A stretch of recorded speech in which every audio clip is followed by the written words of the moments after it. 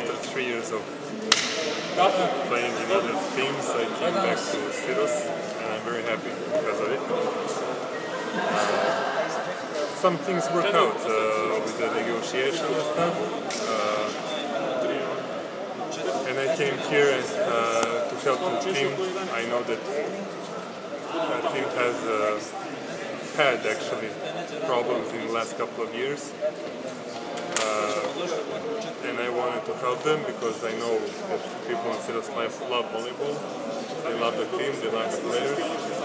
And also I love them and I came here to help them and to do my best because I know that I did my best three years ago and I want to play again at the same level like before to make them happy, to make all the people in.